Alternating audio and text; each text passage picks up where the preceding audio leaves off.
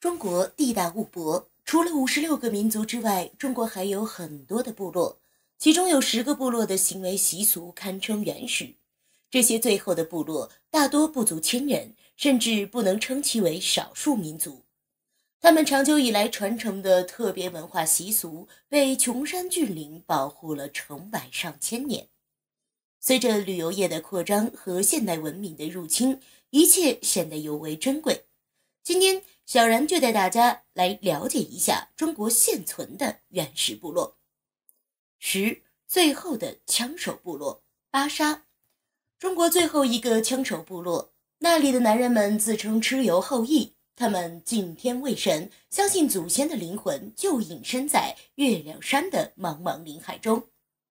巴沙苗族只有语言而没有文字，他们的文化主要体现为巫文化和口唇文化。让人最感到不可思议的是，直到现在，几乎各个十四岁以上的男子都扛着火枪和别着腰刀。在巴沙，有无腰刀就是英雄和懦夫的标志。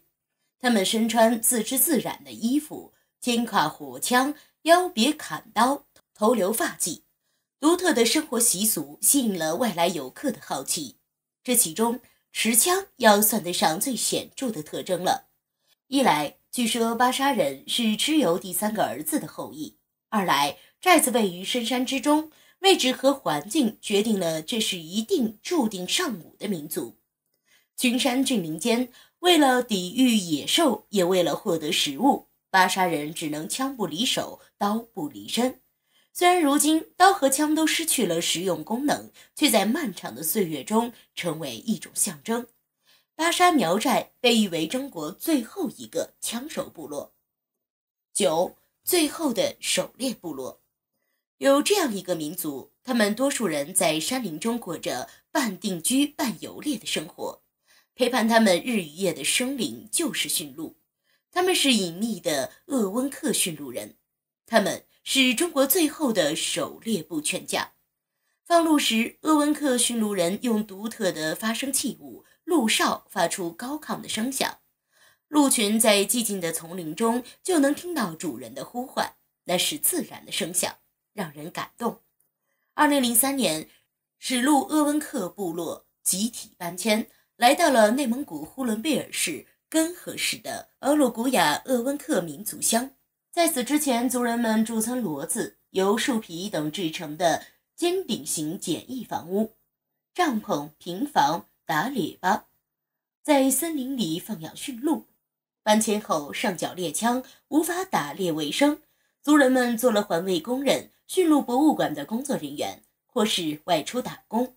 大量驯鹿因生活环境骤变、盗猎等原因死去，一度仅剩六百只。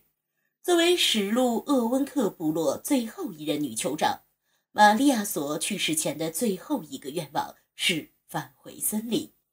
而搬迁近二十年后的今天，一群鄂温克小伙正在重回森林，以新一代人的方式延续着驯鹿民族的文化。八鸟人部落，在西双版纳的少数民族中，克木人是一个极具传奇色彩的群体。他们在树上造鸟巢作为住所，当地人又称他们“鸟人”，像鸟一样生活的人。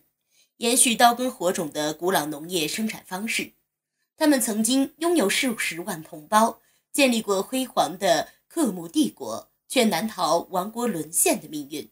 他们有自己的语言，却没有独立的文字，只能以大量的传说向我们讲述往昔的峥嵘岁月。整个部落不到一千人，所以不能算作一个民族，只能叫克木人。克木人没有文字，听不懂我们的语言。相互招呼时，用手拍嘴，发出哇哇哇的声音。再见时，用右手在左手的手腕由下外向上滑动手臂，绝对不能由上向下。七，最后的渔猎部落查干湖，位于吉林省松原市前郭尔罗斯境内，蒙古语意思为“白色圣洁的湖”。总面积四百二十平方公里，是吉林省最大的内陆湖泊，盛产胖头鱼、鲤鱼、鲢鱼等六十八种鱼类。而依靠查干湖生活的蒙古族分支查干卓尔人是目前中国北方唯一一个依然保持着用传统的捕捞方式进行冬捕作业的原始捕鱼部落。捕鱼前先要祭祀，捕鱼部落的族人们在场地围绕插着九只苏鲁定的祭坛，摆放着九种贡品和点燃九柱檀香的供桌和熊熊燃烧的九尊圣火，顺时针绕三圈后。九名喇嘛合掌站立在供桌前，诵起祝福的经文，之后走到装载渔具的马拉帕犁前，将碗中的酒洒倒在渔网上，然后回到供桌前，拿起放在上面的包有羊肚的红绸包，双手高举，来到冰洞前，将其投入冰洞。早在一万年前，古老的查干卓尔人在这里以渔猎为生。他们世世代代逐水草而居，生于斯，长于斯，以湖为生，爱湖如命。尤其是在寒冷漫长的冬季，他们更是依靠传统的捕鱼方式战胜严寒，维系生活，繁衍生息，世代传续。据辽史等记载，自辽圣宗开始到天祚帝，每年春节过后，都要携平分群臣到查干湖进行凿冰取鱼，举行投鱼宴。大宴群臣和各部落使节，议政外交，春尽乃还。六，最后的小脚部落。现在的年轻人可能无法想象，在一百年前，中国的妇女判断自己是否美丽，其最主要的标准，并不是拥有美丽的容貌、丰满的身材，而是自己的脚小不小。三寸金莲就是对当时妇女审美的一种评断。从昆明向南出发。你会找到通海县的一个小村庄六一村，这里至今仍生活着三百多位传族的老太太，他们被称为中国最后的小脚部落。在这座乡村城堡迷宫式的老屋和巷道里，随处可见缠足的老太太。这些老太太们都是在天族运动呼声最高的时候开始偷偷缠足。又在缠足已成为彻头彻尾的陋习时，超现实的塑造着他们的群群玉足，并向历史伸出了他们挑战似的三寸金莲。五最原始的母系部落，提及母系社会走婚制度，多数人想到的或许是游丽江时顺便去泸沽湖探秘。实际上，在泸沽湖的另一边，四川木里的摩梭族人才是对母系氏族生活习惯。保存最为完好的地方，野性之美因为高山草甸的环绕而得以纯粹的保留下来。外来旅游者造访时，通常都是女主人招呼大家进门，而男主人后来才出现，只是与大家寒暄，所以安排都是女主人说了算。家里出现的多是女性，男的都在一旁看热闹。传统的走婚制形式的家庭格局在这里仍旧得以完全的沿袭。四允许带刀进人民大会堂的部落邓人，又称邓巴人。邓人是西藏地区人口最少的少数民族。解放前，绝大多数邓人居住在深山老林，过着非常原始的生活，进行刀耕火种，实行一夫多妻的婚姻买卖制度。如今，邓人的生活已经发生了翻天覆地的变化。邓人头领甚至成为了唯一获准带刀进入人民大会堂的人。邓人妇女从童年八九岁穿裙子时开始，父母就要严格管教女儿，不准吃牛肉、猪肉和鸡肉，但鼠肉、麻雀、鱼、野鸡不在禁律之内，否则就要受到社会舆论的谴责，被指责为吃肉的女人。这对动人妇女来说是一种最大的耻辱。一直要到生过三四个孩子后才允许他吃肉。三神秘的裸体部落，阿细为彝族的一个支系。阿细人崇尚火，据说远古的时候人类是吃生食，自从发现火的用途后，就学会了吃熟食。阿细的先祖们为了感谢火，就每年定期的举行祭火仪式，一直流传至今。祭祀当天。在村里等候的壮年男子和未成年的男童分成两组，都不穿衣服，悄悄地集中到村外事先选定的隐蔽处进行化妆和纹面纹身。他们用于化妆的颜料大多以本地土质的红、黄、白、黑、褐五色为主要颜色。其代表图案以象征动植物图案和五色连环图案为主。动物图案表现了村民们的动物崇拜，五色连环图案则象征着对土地、日月星辰、风雨雷电等大自然的崇拜。